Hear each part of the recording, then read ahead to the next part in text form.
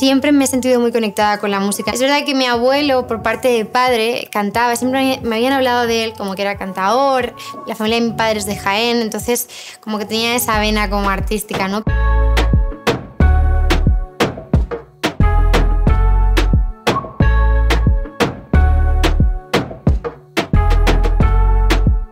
Mi voz se empezó a desarrollar más como con eso, con 12 años. Me mandaron en el colegio la canción de We Are the World y bueno, claro, yo empecé a ensayarla en mi casa y de repente mi padre como que abrió la puerta y me dijo, Oye, Aitana, ¿estabas cantando tú? Y yo, sí, súper ilusionada.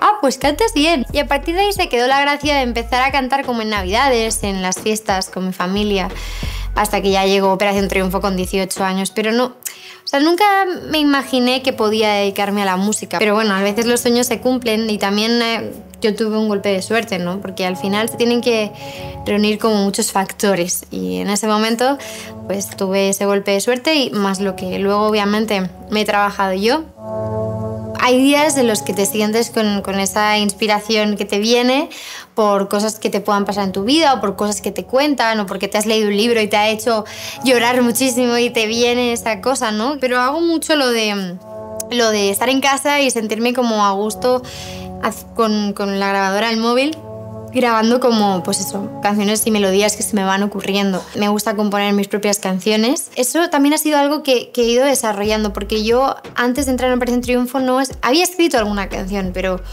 no era, ¿sabes? Yo hacía más covers de canciones, de canciones que existían y no, no, no se me había pasado tanto por la cabeza como escribir mis propias canciones, algo tan normal como eso. Y luego cuando salí de Operación Triunfo eh, viajé a Los Ángeles como un mes y medio y ahí empecé como a explotar de alguna forma toda esa creatividad que yo tenía dentro y que no había sabido cómo sacar.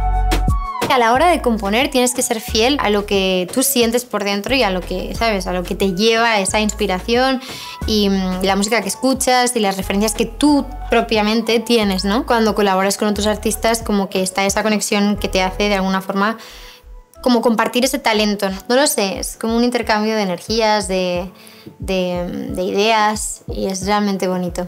La conexión que tengo con mi equipo de trabajo em, es realmente muy bonita porque son como mi familia. Yo no estaría donde estoy ahora sin, sin ellos, ni muchísimo menos porque, o sea, solo en este, en este trabajo no, no vas a ninguna parte. Para mí tener talento es saber saber explotar de alguna forma y exteriorizar eso que te hace feliz, ¿no? Y poder como exprimirlo al máximo y darle esa creatividad. Yo creo que todo el mundo, todo, todo de verdad, todo el mundo tiene algo que puedes sacar hacia afuera que es especial.